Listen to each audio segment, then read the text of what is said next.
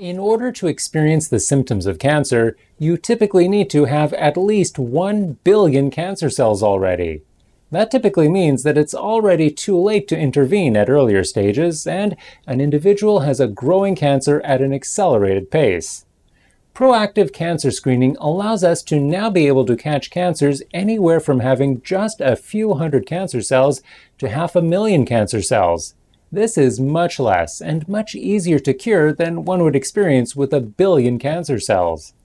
Join Dr. Levandovsky from Preventive Medicine and Cancer Care in Denver, Colorado, as he explains how cancer manifests in the body. Let's talk about really what we ought to do detecting cancer and and why old paradigms don't work and my the rates are what they are.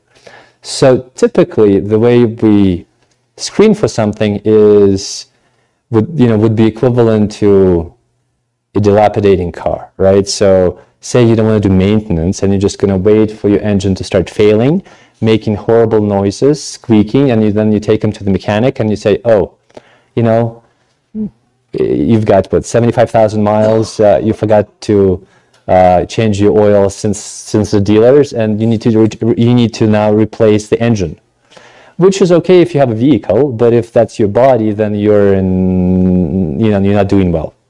Um, but that's what we used to do. There was an apathy in the medical community as far as screening, right? So what we say, you know, you have symptoms, you come into your physician, and they start looking for stuff. So how good are we when symptoms happen? So if someone has symptoms of cancer, um, it means that there is enough of a burden of cancer cells to cause the symptoms and what's that burden. So typically cl clinical symptoms, so if this is no cancer and this is symptomatic amount of cancer, one needs to have about a billion cells for symptoms to hit. A billion cells for deadly cancers like say lung cancer, prostate cancer means that you have an overwhelmingly high chance of that cancer having spread. You're behind. If it's if it's, you know, early prostate cancer, then you typically are okay, unless you aren't. So we can certainly do better, and we can lower the threshold of detection to about half a million cells. That's about the limit where scans can can uh, detect cancer. So 20-fold reduction, which is great. You know, we can certainly uh, in the Smart Way Institute screening modalities and imaging and say, okay, we can detect cancer much earlier, um, but can we do better nowadays?